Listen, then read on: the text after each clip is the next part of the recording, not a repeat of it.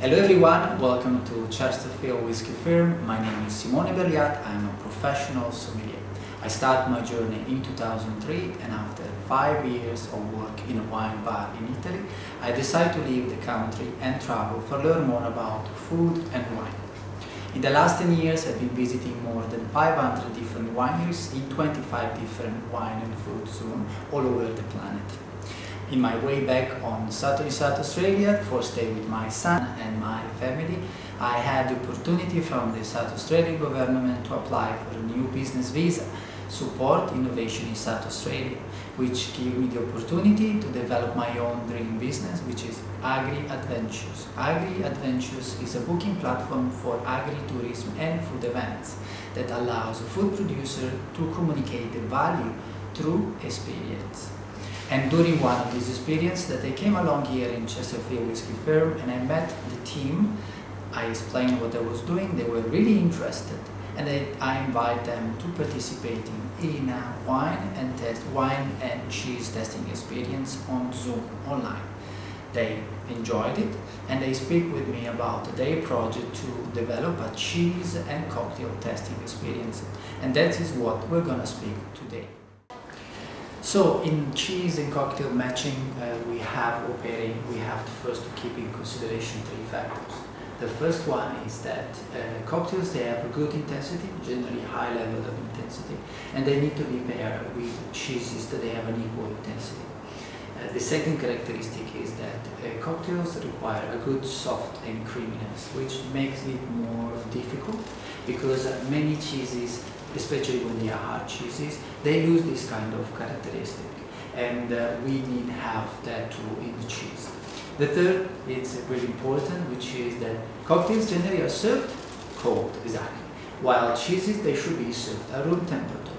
So one of the advice I give you when you're going to taste this experience is to taste the cocktail, leave it warm up a little bit, and add your cheese. But let's keep going. So, what, we, what I decide for this first experience for you I created this match and it's an introduction. So get ready, more, more things that will come. The first one is a smoked whiskey Godfather. We have a good, nice, nutty flavor. And it's going to be matched with a creamy and semi-hard cheese.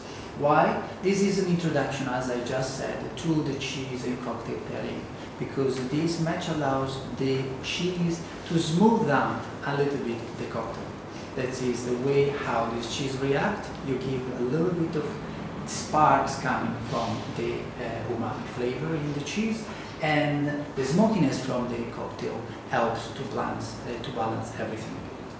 The second, it's probably my favorite, we have the Maid Marian. Maid Marian is a sweet, nice and lovely uh, cocktail. In this case it's matched with a hard cheese, we're speaking about a cheddar, at least 24 months of age and these are dancing together. Both they're enhancing their flavors and their characteristics. I'm pretty sure you'll be able to find all these flavors again of this tasting experience after. The final one, this is more for enjoy the experience at the end. It's an espresso martini and this one to and to enjoy. To finalize,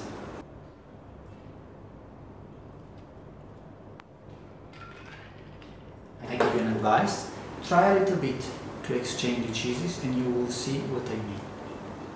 I hope you enjoy and uh, come along here in Chesterfield Whisky Firm and speak about the experience that you've seen online on uh, YouTube.